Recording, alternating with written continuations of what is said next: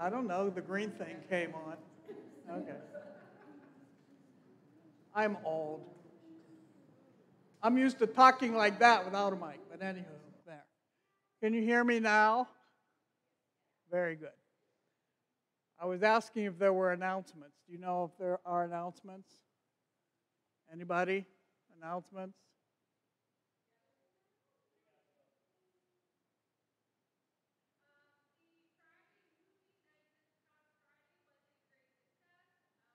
Had over 20 people um, that showed up for the movie night. The next movie night is July 29th, and they will watch Sing 2. Uh, there is a parish picnic on July 16th at Rehoboth.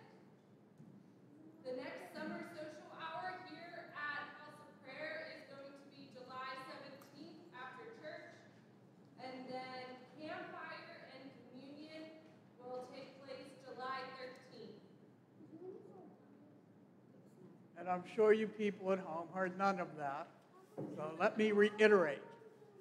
The movie night on Friday was a great success. The next one is July 29th. And that movie will be Sing 2. The next parish event will be on July the 13th, and that's campfire and communion at Faith at 7 p.m. And then the next parish event after that will be on July the 16th at 6 p.m. And that is the parish picnic at Rehoboth. We're asking people to bring a potluck, so it's the potluck parish picnic at Rehoboth. So we are asking people to bring food to share. And if you don't want to bring food to share, then bring money to share. That's how we're going with this. We're, it's in the evening so that we can have a campfire.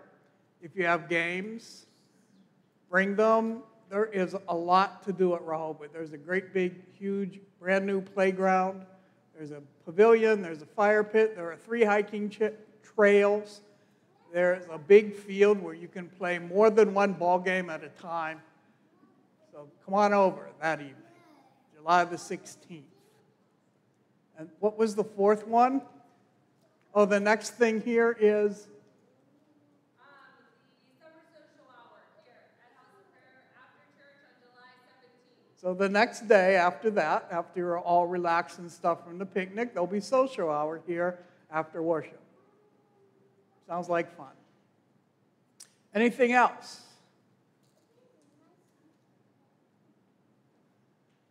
Okay, Ben, go for it.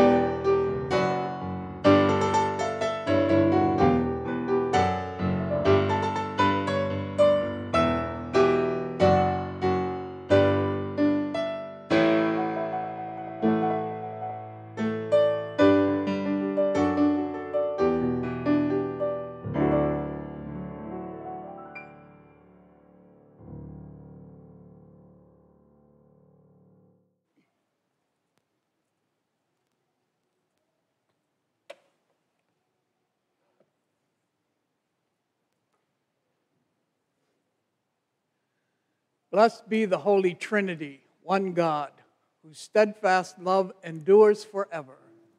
Amen. Let us confess our sin in the presence of God and of one another.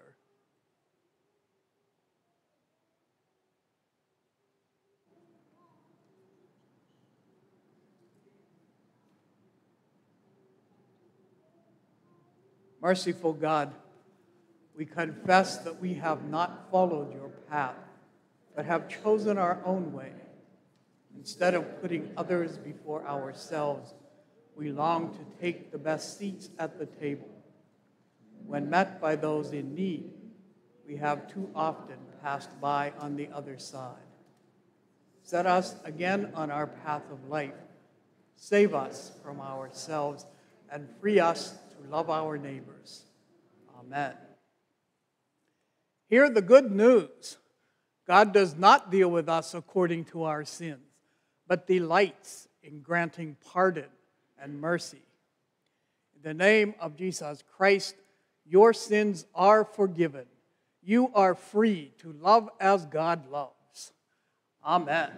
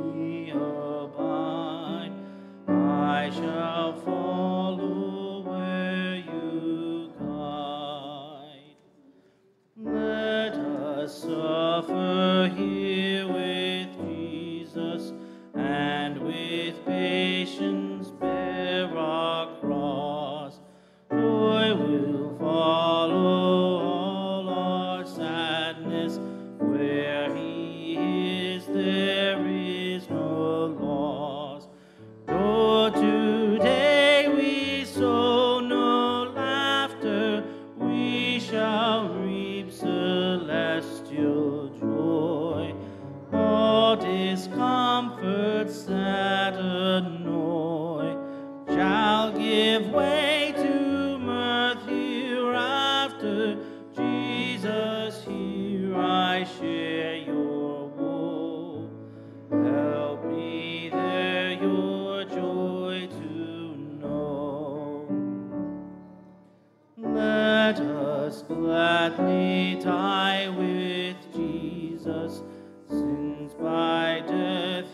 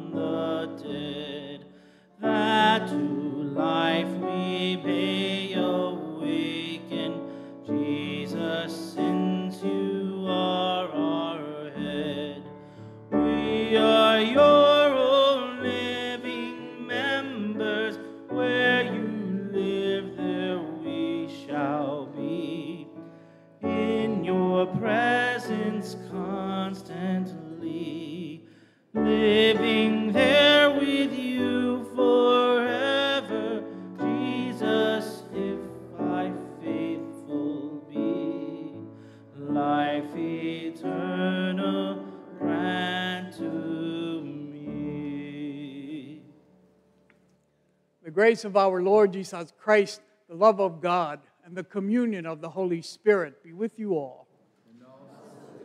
Thank you. Let us pray. O God, the Father of our Lord Jesus Christ, you are the city that shelters us, the mother who comforts us. With your Spirit, accompany us on our life's journey, that we may spread your peace in all the world. Through your Son, Jesus Christ, our Savior and Lord. Amen.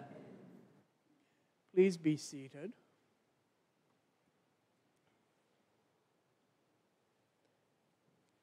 If you have a Spark Bible, we're on page 322.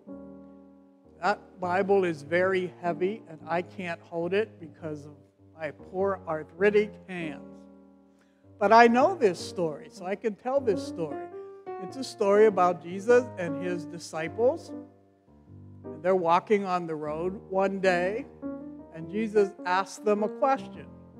He's just wondering who people say he is. Because lots of people had different ideas about who Jesus might be. So he said to them, Who are people saying that I am? And they said, Well, some people think you're Elijah or one of the other prophets. Some people think you're John the Baptist, come back from the dead. And Jesus said, Well, that's really interesting. I'm none of those. Then he looked at his disciples and he said, What about you? You've been walking with me all these couple of years now. You've seen my ministry, you've heard my teaching and my preaching. Who do you say that I am? And they, like, I don't has anybody here ever been on church council? You've been on church council? Yeah, and you know when pastor asks a question, everybody looks at their shoes, right? I think that's what happened here.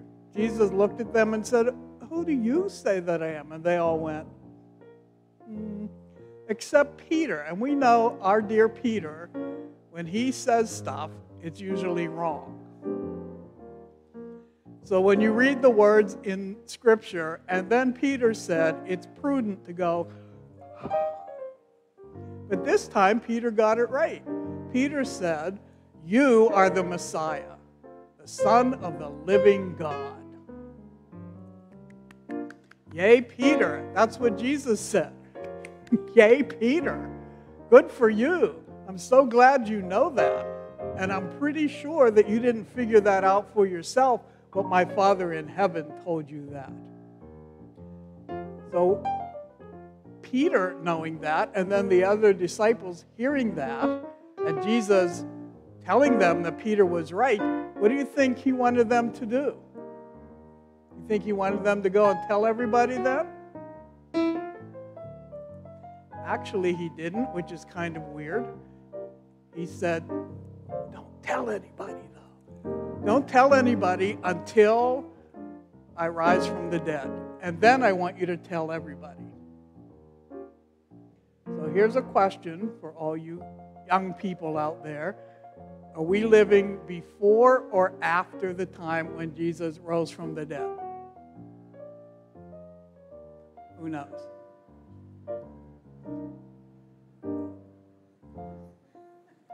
Yes.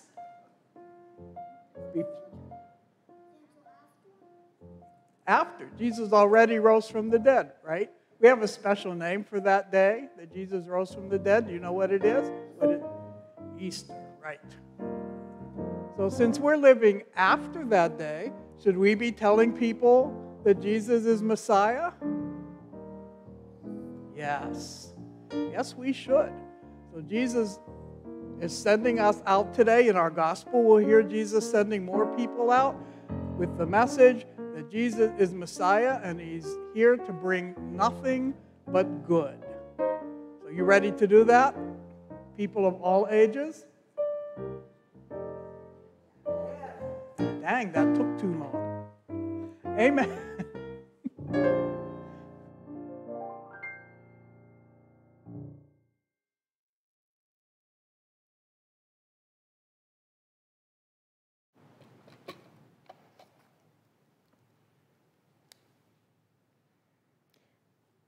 The first reading is from Isaiah, the 66th chapter. Rejoice with Jerusalem and be glad for her, and all who love her. Rejoice with her in joy, and all who mourn over her, that you may nurse and be satisfied from her consoling breast, that you may drink deeply with delight from her glorious bosom. For thus says the Lord I will extend prosperity to her like a river and the wealth of the nations like an overflowing stream. And you shall nurse and be carried on her arm, and dandled on her knees. As a mother com- comforts her child, so I will comfort you. You shall be confronted in Jerusalem. You shall see, and your heart shall rejoice. Your body shall flourish like the grass, and it shall be known that the hand of the Lord is with his servants and his indignation is against his enemies. The word of the Lord. We will read 60, um, Psalm 66 responsively. Be joyful in God, all your lands. Be joyful in all the earth.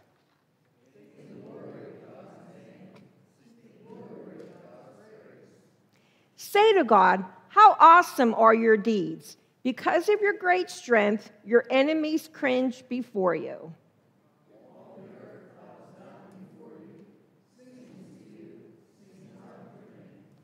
Come now and see the works of God. How awesome are God's deeds towards all people.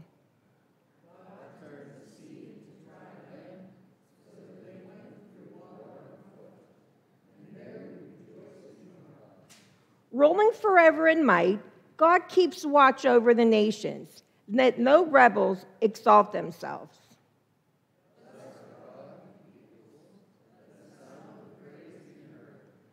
Our God has kept us among the living and has not allowed our feet to slip. The second reading is from Galatians, the sixth and seventh chapter. My friends, if anyone is detected into a transgression, you will have received the Spirit should restore such, such a one in a spirit of gentleness. Take care that you, that you yourselves are not tempted. Bear one another's burdens, and in this way you will fulfill the law of Christ. For in those who, who are nothing, they think they are something. They deceive themselves. All must test their own work than that, than that work, rather than their neighbor's work will become a cause of pride, for all must carry their own loads. Those who are taught the word must share in all good things with their teacher. Do not be deceived. God is not mocked, for you will reap whatever you sow. If you sow to your own flesh, you will reap corruption from the flesh. But if you sow to the Spirit, you will reap eternal life from the Spirit. So let us not grow weary in doing what is right we will reap at harvest time. If we do not give up, so then, whenever we have an opportunity, let us work for the good of all, and especially of those of the family of faith. See what large letters I make when I'm writing in my own hand. It is those who want to make a good showing in the flesh that try to compel you to be circumcised, only that they may not be persecuted for the cross of Christ, even the circumcised do not themselves obey the law, but they want you to be circumcised so that they may boast about your flesh. May I never boast of anything except the cross of our Lord Jesus Christ, by which the world has been crucified to me, and I to the world. For neither circumcision or uncircumcision is anything, but a new creation is everything as of those who will follow this rule, peace upon them and mercy and upon the Israel of God. The word of the Lord.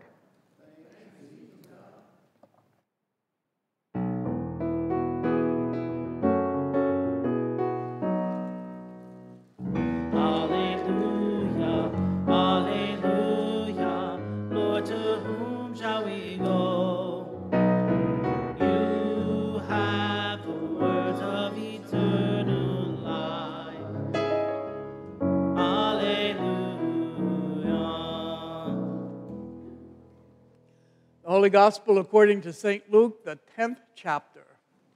Glory to you, O Lord. After this, the Lord appointed 70 others and sent them on ahead of him in pairs to every town and place where he himself intended to go. He said to them, The harvest is plentiful, but the laborers are few. Therefore, ask the Lord of the harvest to send out laborers into his harvest. Go on your way. See, I am sending you out like lambs into the midst of wolves. Carry no purse, no bag, no sandals, and greet no one on the road. Whatever house you enter, first say, Peace to this house. And if anyone is there who shares in peace, your peace will rest on that person. But if not, it will return to you. Remain in the same house, eating and drinking whatever they provide, for the laborer deserves to be paid. Do not move about from house to house. Whenever you enter a town and its people welcome you, eat what is set before you. Cure the sick who are there and say to them, The kingdom of God has come near to you. But whenever you enter a town and they do not welcome you, go out into the streets and say, Even the dust of your town that clings to our feet, we wipe off in protest against you. Yet know this the kingdom of God has come near. Whoever listens to you listens to me, and whoever rejects you rejects me, and whoever rejects me rejects the one who sent me. The seventy returned with joy, saying, Lord, in your name even the demons submit to us.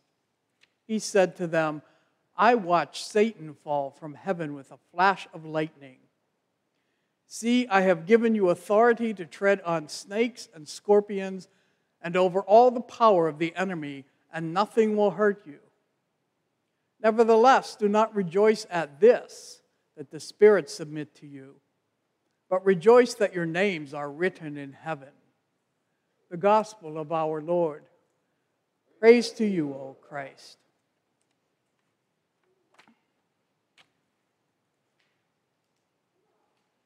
I think we've heard this story once or twice before? This is an interesting piece of scripture here, what Jesus is doing.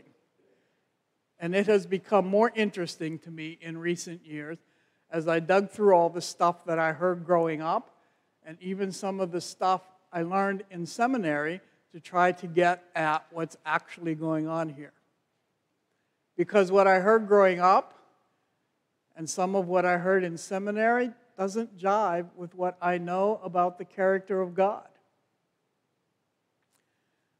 For instance, the verses that are left out here. See, it stops at 11 and then picks up again at 16. All of those verses are complaining about, Jesus is complaining about places that have not welcomed him. And he's saying, Woe to you, Bethsaida. Woe to you, Chorazin. And it will be better on that day, meaning the day of judgment, for Sodom than it will be for you. And I've heard all my life that this is about judgment. That Jesus is sending more people out than just the 12. And you remember that there's the 12, but he had lots of disciples, right? You remember that, right? right? Okay, good. So he's gathering people from there and sending them out 70 of them. And he's sending them out with his authority to preach and to heal and to cast out demons. That's huge authority right there. And he's sending them out. And if you listen carefully to the first verse, he's sending them out to places where he intends to go. They're like little John the Baptist. They're out there making a way for the Lord to come up behind them. And he tells them when you walk into a town, the very first thing I want you to do is call down peace on this town. Who remembers last Sunday's gospel? I know that was seven days ago. Does anybody remember last Sunday's gospel? Last Sunday, Jesus went into a town in Samaria, and the people didn't welcome him. And James and John said, Hey, Lord, you want us to rain down fire and brimstone from heaven on them and burn them to little crispy critters? Won't that be fun? And Jesus said, No. No, we're not doing that. and today, as a counter to that, he's sending people out, who knows where. He's just sending them out and saying, Call down peace on these towns. And peace all right, I'll ask you. When I say the word peace, what do you think of? You have to speak up, I'm deaf. Non conflict. That's usually what we think of as peace, is the absence of war, right? Or if you grew up in the 70s like me, it's like, peace, man.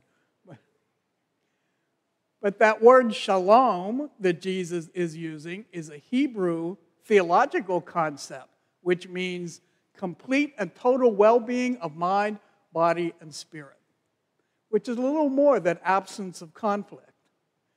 Complete and total well being of your entire being, mind, body, and spirit.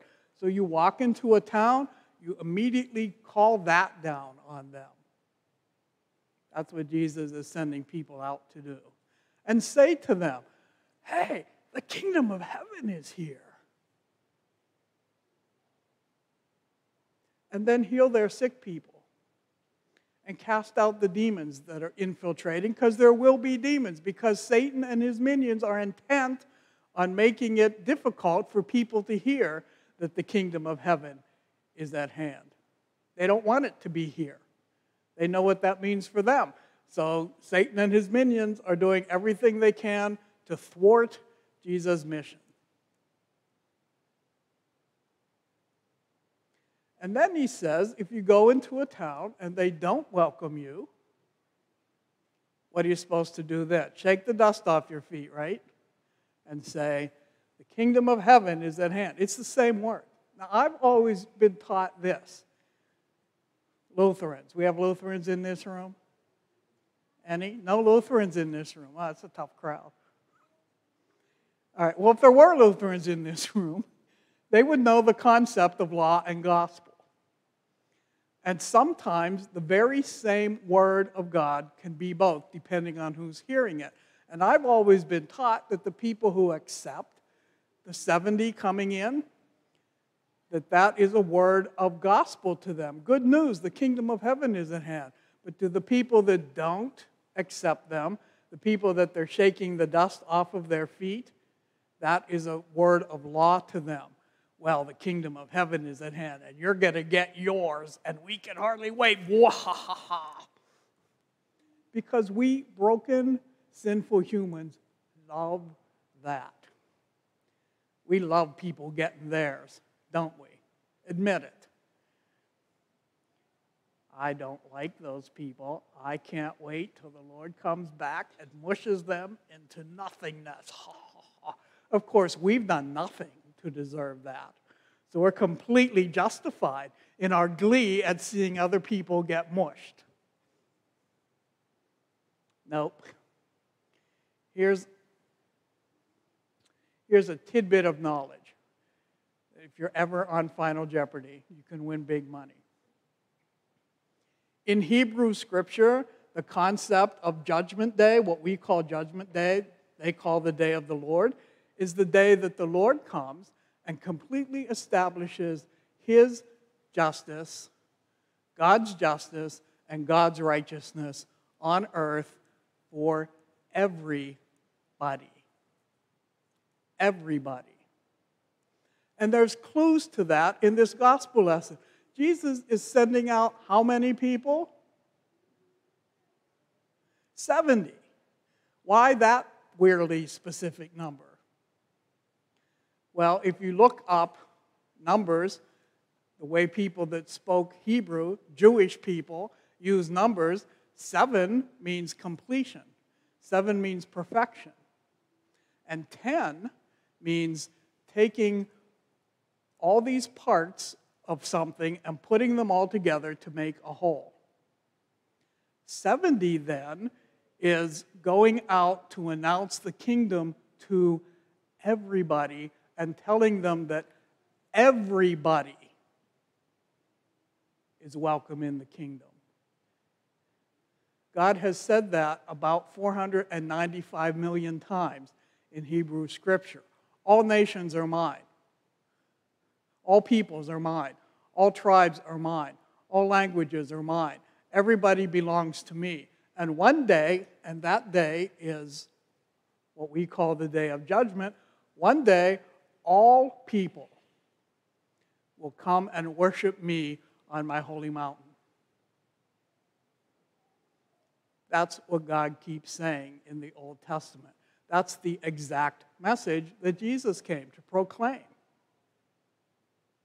So, thinking further about these people that don't exactly welcome the, uh, the uh, apostles at the moment, and Jesus says, Shake off the dust from your feet out in the town. And our translation says, as a protest, he didn't say protest, he said testimony, which is different.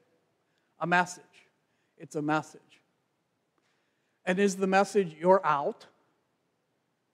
Given what God has been saying for thousands of years, would Jesus' message now be, and if they don't accept them, tell them they're out? That seems odd. So it made me think since he's bringing up dust and stuff, maybe using dust as a testimony is a sign of mourning, of sadness that the people have not accepted the message of the apostles. And the intervening verses that we left out Woe to you, Bethsaida! Woe to you, Chorazin! Is he saying to them, You're ridiculous? You lost an opportunity here, so now you're going to be condemned forever? Or is that lament? I now hear it as lament. I'm sorry for you. I'm sorry you're not able to accept right now this message. And then, after you make this testimony to them of mourning and sadness, then what do you say to them? And by the way, we're in, you're out? No. Then turn to them as you're leaving and say, by the way, the kingdom of heaven is here as well. That's a whole different thing from condemnation and judgment, isn't it? And I'm pretty sure that what Jesus has sent these apostles out to do, that message, and the way to spread that message, that the kingdom of heaven is here, it's our job, church. That's exactly the message we're supposed to be spreading. And exactly the same way these apostles have done it to go to people and proclaim the kingdom. And if they accept it, rejoice with them. And if they don't, mourn with them, but still proclaim the kingdom.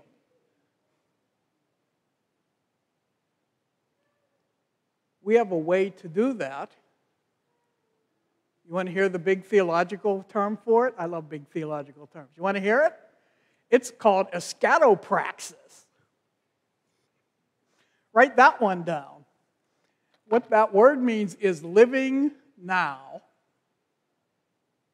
as if the kingdom of heaven is finally and fully realized on this earth. When the kingdom of heaven is finally and fully realized on this earth, when God establishes justice and righteousness and peace on this earth for all people, Who's in and who's out? Who's in? Everybody. Who's out? Nobody. So all the eschatopraxis means is we live now as if that is already our reality.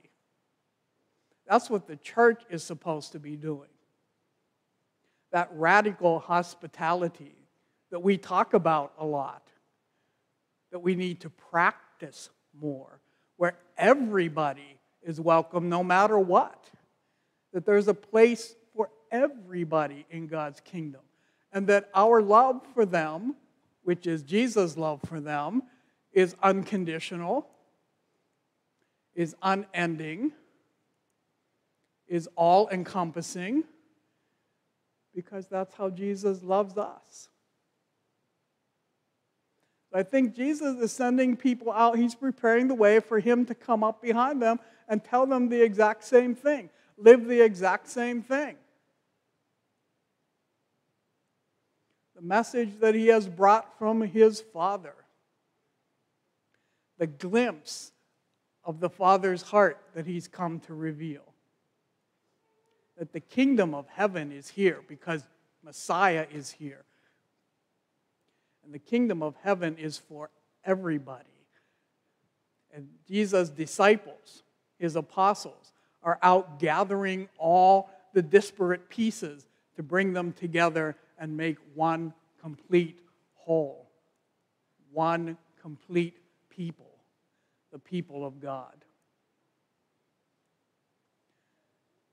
I was thinking earlier this morning that the 13 people up at Vankirk this morning, if only those 13 people lived that, what a huge difference it would make in the world. And if only the people who are worshiping at Around the River Lutheran Parish did that, worshiping today at Around the River Lutheran Parish did that, can you imagine the difference it would make in the world? Think about if everyone who called themselves a Christian lived that. How would the world be different? And that's exactly what we're called to do, church. Not just called, but empowered by the Holy Spirit to do. Called, gathered, enlightened, sanctified, sent. There, by the Holy Spirit to do that exact thing. To live the kingdom. The kingdom of heaven is here. It's here. Huzzah, huzzah, huzzah. Let's live it, and not just for ourselves, but for the sake of others. Amen.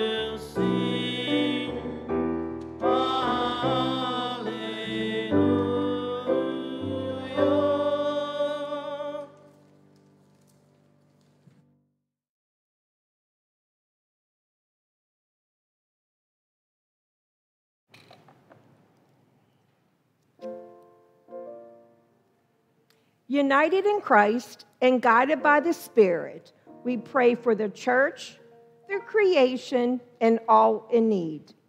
Those who able may kneel or sit.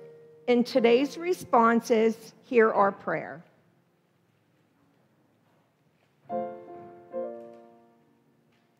Lord of the harvest, you send your church into the world to proclaim Christ's new creation to all. Renew the church as it carries out your mission of peace and healing. We pray for missionaries who accompany your people. Lord, in your mercy, your creation abounds with flowing waters and diverse creatures.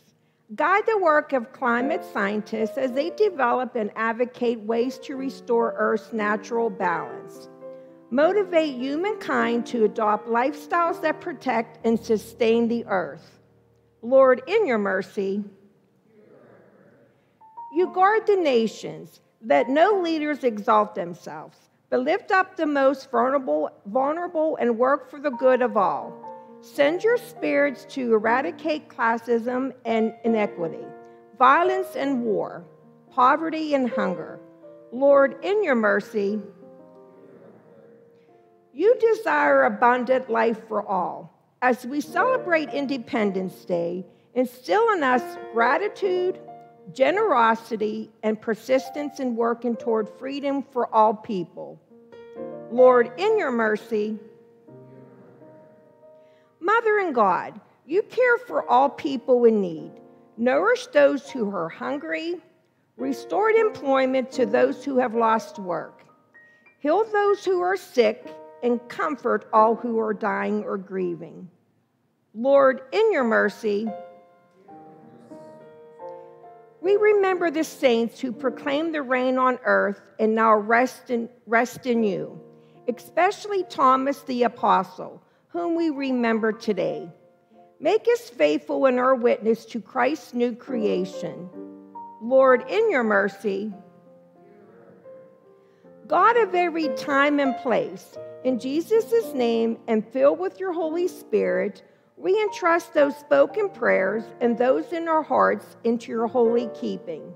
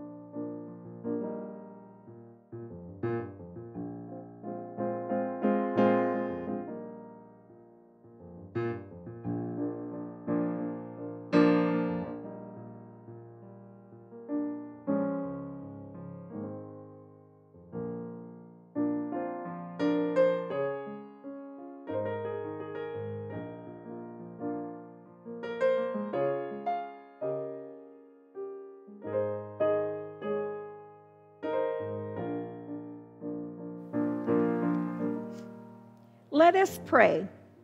Blessed are you, O God, sovereign of the universe. You offer us new beginnings and guide us on our journey. Lead us to your table, nourish us, us with this heavenly food, and pre- prepare to carry your love to a hungry world. In the name of Christ, our light, amen. The Lord be with you. Lift up your hearts. Let us give thanks to the Lord our God. It is right to give our thanks and praise. It is indeed right, our duty and our joy, that we should at all times and in all places give thanks and praise to you, Almighty and merciful God, through our Savior Jesus Christ, who on this day overcame death and the grave, and by his glorious resurrection opened to us the way of everlasting life. And so, with all the choirs of angels, with the church on earth and the hosts of heaven, we praise your name and join their unending hymn Holy, holy, holy Lord, God of power and might. Heaven and earth are full of your glory.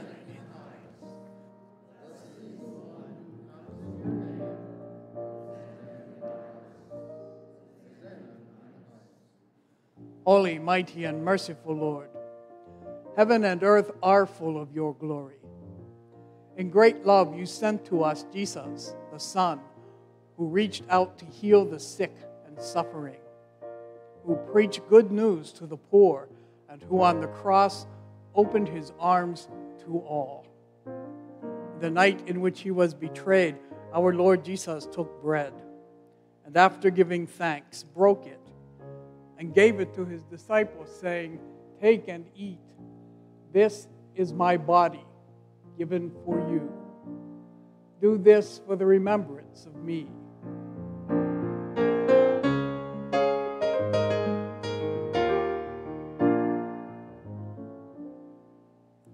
When supper was ended, he took the cup, again gave thanks, and gave it for all to drink, saying, This is the cup of the new covenant in my blood, which is shed for you and for all people for the forgiveness of sins.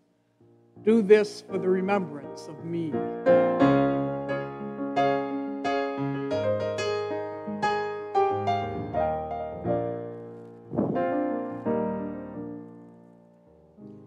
Remembering, therefore, his death, resurrection, and ascension, we await his coming in glory. Pour out upon us the spirit of your love, O Lord, and unite the wills of all who share this heavenly food, the body and blood of Jesus Christ, our Lord, to whom with you and the Holy Spirit be all honor and glory now and forever. Amen. Taught by our Lord and trusting his promises, we are bold to pray. Our Father, art in heaven, hallowed be thy name. Thy kingdom come, thy will be done, on earth as it is in heaven. Give us this day our daily bread. Forgive us our trespasses, as we forgive those who trespass against us. And lead us not into temptation, but deliver us from evil. For thine is the kingdom and the power and the glory forever and ever. Amen. This is Jesus, conqueror of death and bringer of eternal life. Come and receive him.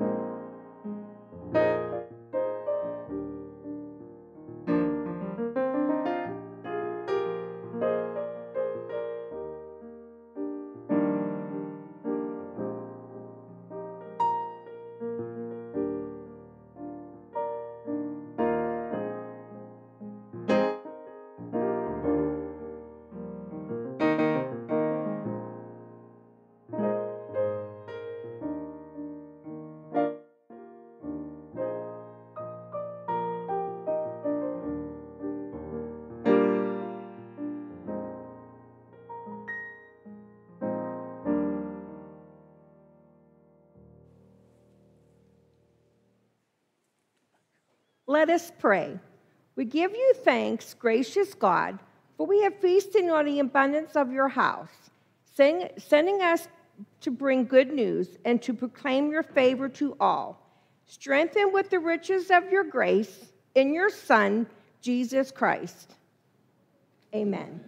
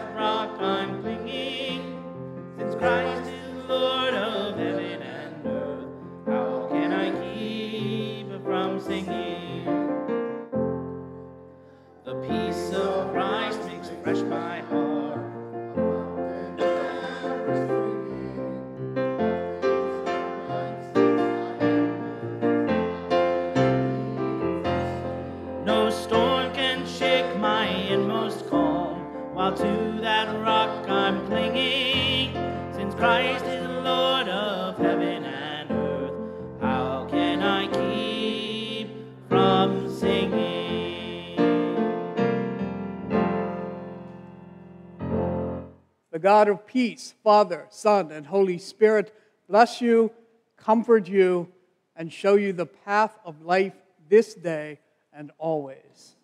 Amen. Amen. Go in peace. Christ is with you. Share it.